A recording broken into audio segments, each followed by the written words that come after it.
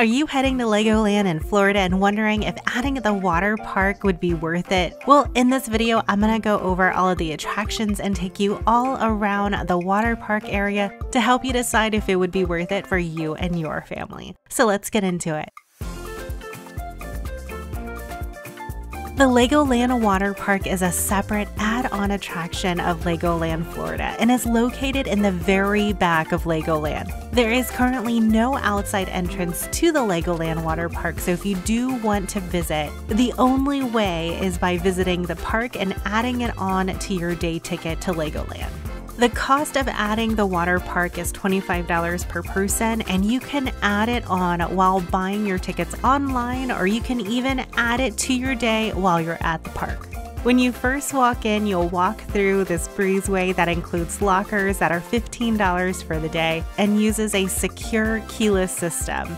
There is also a small surf shop in here, so if you forgot your swimsuit or sunscreen or any other essentials, you could probably find it in here. The first attraction that you'll come across in the park is the Duplo Splash Safari, where you and the tots can dip in with a bunch of Duplo animals that include penguins and elephants.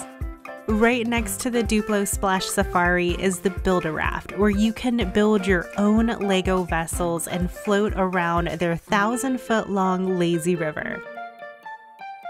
There is a twist to this lazy river. All along the way, there are these bricks that you can pick up and add on to the top of your vessel. And I was able to spy a few rafts that did have the building platform on them where you can add your bricks. Either way, it still looks like a beautiful, fun way to spend the day. If you head down the walkway, the next area that you'll come across is the Lego Wave Pool and Joker Soaker. The Joker Soaker is this awesome interactive play area that is filled with slides, climbing areas, water spouts, and a wading pool. This awesome play area features five slides, a number of different spouts, and hidden dumps that will surprise you and your kids when you're not looking. One of the best parts about this Joker Soaker is that every two minutes, this giant bucket will dump over 300 gallons of water over everyone inside. And uh, by the way, if you are finding this information helpful, I would love it if you could hit that like button and subscribe if you would like to see more ideas like this to do during your Florida vacation. I release a new video every week, and the best way to be able to see them is by subscribing. Overall, the Joker Soaker is a really fun area and definitely one that you and the kids will have a lot of fun exploring. Just a short walk from the Joker Soaker is the Lego Wave Pool, where you can catch some waves or even just cool off. The waves are just big enough and very gentle, plus, there's several of these islands across the pool where the kids can come together and play with a few bricks and create some amazing builds as they swim. If your kids are more of a builder than they are a swimmer, then the Legoland Water Park also has a build a boat attraction that is really fun. In this area, you can get the chance to build and race your own boat against others as they float down this furious river to see which one makes it to the end. Right next to the Build a Boat section is the Imagination Station, and here the kids can create fun builds or just play around with the Lego water guns.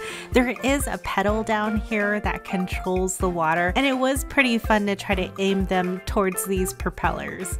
If you have bigger kids that are looking for bigger slides, then you'll want to head over to the Twin Chasers that you'll find in the back of the park. On these slides, you can ride tubes down 375 feet of an intertwining pair of enclosed water slides before plunging into the water below.